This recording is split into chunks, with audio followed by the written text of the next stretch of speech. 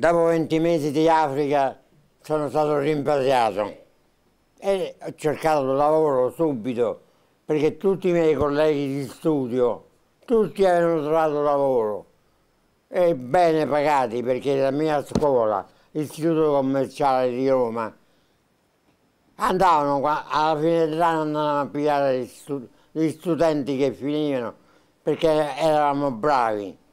Allora io trovai subito alla banca, alla banca Credito Italiano, che era una galera. Per me abituato all'aria, all'Africa, e qui per andare al gabinetto bisognava chiedere loro la chiave al capo ufficio.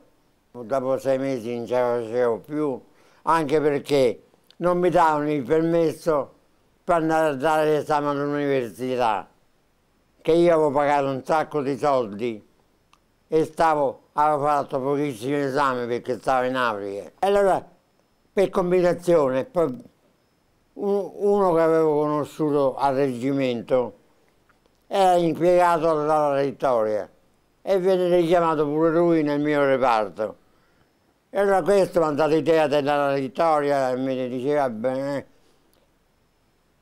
E tornato dall'Africa mi rivolsi a questo che, che aria tirano dalla vittoria. È buona, buona, vieni, vieni. E feci domanda. Cercai una spintarella, perché la vittoria, se non c'era la spintarella, non c'entravi.